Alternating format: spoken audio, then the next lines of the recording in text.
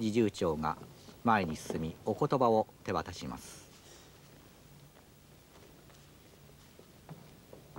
日本国憲法及び皇室典範の定めるところによりここに行為を継承しました。今日我が国は国民生活の安定と繁栄を実現し平和国家として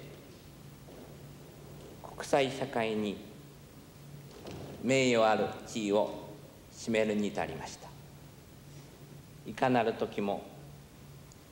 国民と共にあることを念願された御心を心としつつ皆さんと共に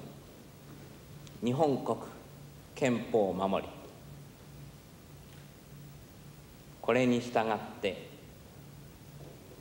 責務を果たすことを誓い国運の一層の進展と世界の平和人類の福祉の増進を切に希望してありません。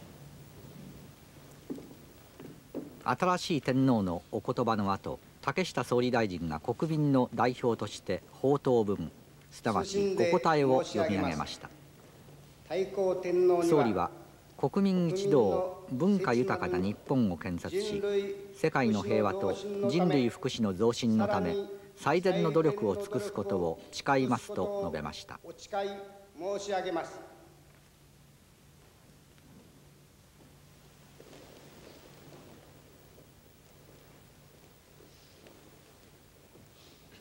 式はおよそ7分ほどで終わりましたが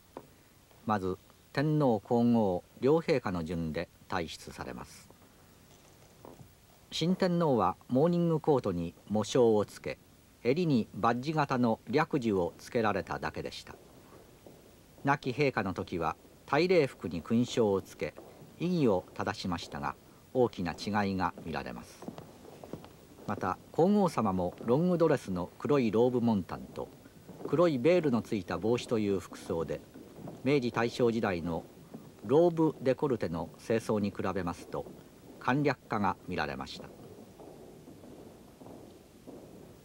また亡き天皇の場合は文官と武官の代表を合わせて300人余りが出席しましたが今回は婦人同伴であることが大きな特徴になっています。